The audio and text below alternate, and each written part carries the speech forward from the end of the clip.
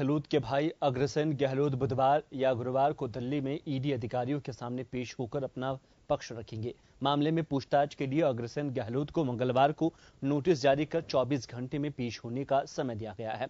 सूत्रों के मुताबिक, दिल्ली से आई टीम को उर्वरक घोटाले की जाँच के दौरान कई अहम जानकारियाँ मिली है। बीते दिनों ईडी ने इस मामले में अग्रसेन गहलोत समेत कुल चार आरोपियों के खिलाफ मामला दर्ज किया है। इसके बाद दिल्ली समेत पश्चिम बंगाल, राजस्थान, गुजरात के करीब तेरह ठिकानों पर ईडी की टीम ने छापेमारी की।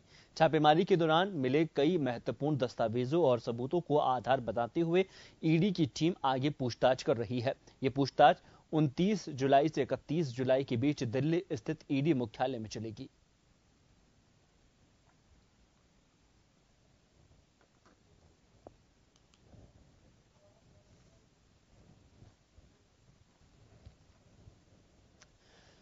और इस पर ज़्यादा जानकारी के लिए हमारे जन टीवी संवाददाता जगदीश लोहार जोधपुर से हमसे जुड़ चुके हैं। जगदीश, क्या कुछ अपडेट है लगातार जो राजस्थान में सियासी संग्राम चल रहा है उस बीच ईडी की जो कार्रवाई यहाँ देखने को मिली है अशोक गहलोत के जो करीबी है उन पर यह कार्रवाई हुई थी। इसके बाद उनके भाई अग्रसेन गहलोत पर भी, भी कार्रवाई हुई। उसके बाद अब उन्हें दिल्ली तलब किया है।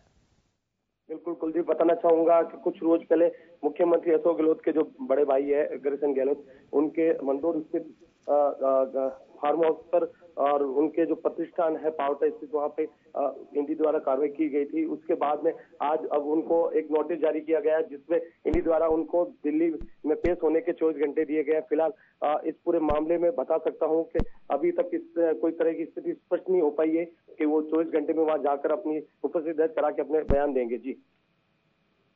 जिस तरीके से हम देख रहे हैं कि पूरे मामले को लेकर ईडी और जो कार्रवाइयाँ हो रही है, उसे लेकर कांग्रेस का लगातार यहाँ पर बयान देखने को मिला। उनका कहना है कि जो राजस्थान में सियासी संग्राम चल रहा है, उस बीच ईडी की कार्रवाई केंद्र सरकार की ओर से कराई जा रही है। मुख्यमंत्री के करीबी पर बिल्कुल बताना चाहूँगा कि जिस तरह से प्रदेश भर में पूरी जो सरकार के उलटफट जो मामले चल रहे हैं, जहाँ गर्मा गर्मी चल रही है, जिस तरह की गर्मी देखने को मिल रही है, वहीं दूसरी तरफ़ इंडी की कार्रवाई, एक तरफ़ कांग्रेस कार्यकर्ताओं में आक्रोश देखने को मिल रहा है, जहाँ पे भाजपा व केंद्र सरकार के विरोध में प्रदर्शन भी किए जा रहे हैं लगातार, और दूसरी तरफ़ जो जो सरकार की उठक को लेकर कांग्रेस के जो कार्यकर्ता है, आए दिन कोई ना कोई विरोध प्रदर्शन करते हैं, पुतला भी बयान करते हैं, लेकिन उसी के तहत अब जो ये कार्रवाई चल रही है, इसका भी वो पुरजोर विरोध कर रहे हैं और इनका कहना है कि जिस तरह से सरकार को गिराने के लिए ये प्रयास किए जा रहे हैं केंद्र सरकार व भाजपा सरकार द्वारा, उनको ये कांग्रेस में बिल्कुल आपको देखने मिल रहा है, उनके कार्यकर्ताओं में आपको देखने मिल रहा है। जी, कुलदीप।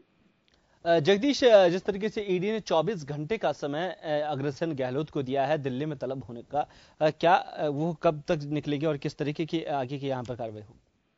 बिल्कुल जिस तरह से लॉकडाउन कोरोना का जो कहर चल रहा है लॉकडाउन का लॉकडाउन चल रहा है, इसी के तहत जो ट्रांसपोर्टेड की जो आने जाने की ट्रांस की व्यवस्था है, वो निश्चित निश्चित तौर पे वो एक अपना पर्सनल वाहन से वहाँ जाने की संभावना है सकती है, क्योंकि उनको 24 घंटे में वहाँ तलब किया जा रहा है। फ़िलहाल किसी तरह की कोई पुष्टि नहीं की गई है उनके द्वारा, लेकिन कह सकते हैं निश्चित तौर पर चौबीस घंटे का उनका अल्टीमेटम दिया है, उसी दरमियान उनको जाना पड़ेगा और जाके वहाँ पर पेश होना पड़ेगा। लेकिन अभी तक किसी तरह की कोई बात निकल के नहीं है अभी तक जाने के बारे में किसी तरह की कोई जानकारी नहीं मिल पाई है। जी।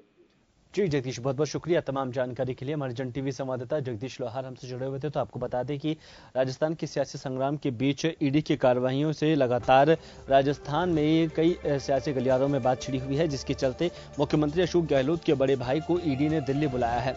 ईडी ने अग्रसेन गहलोत को तलब किया है। ईडी ने दस साल पुराने उर्वरक घोटाले मामले में जोधपुर में छापेमारी की थी।